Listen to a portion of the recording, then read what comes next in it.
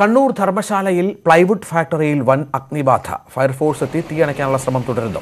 രാത്രി പതിനൊന്നരയോടെയാണ് തീ പൊട്ടിപ്പുറപ്പെട്ടത്. ലക്ഷങ്ങളുടെ നാശനഷ്ടമുണ്ടായതായാണ് റിപ്പോർട്ട്.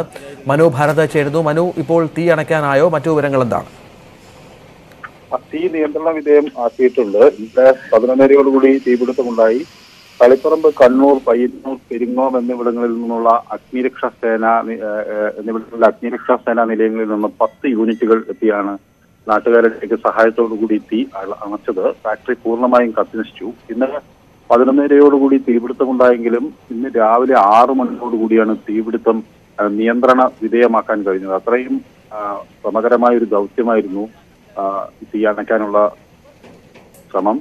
അതുപോലെ തന്നെ ഇത് എങ്ങനെയാണ് ഈ അജ്ഞാത ഉണ്ടായതെന്നതിനെ കുറിച്ചൊരു കൃത്യമായ വ്യക്തത വന്നിട്ടില്ല. പക്ഷെ ഷോർട്ട് സർക്യൂട്ട് ആകാം അപകടത്തിലേക്ക് നയിച്ചത് എന്നാണ് പ്രാഥമികമായ ഒരു അനുമാനം ലക്ഷങ്ങളുടെ നാശനഷ്ടം ഉണ്ടായിട്ടുള്ളൂ. മനോഭാരത ഭാരത് വിവരങ്ങൾ പങ്കുവച്ചു.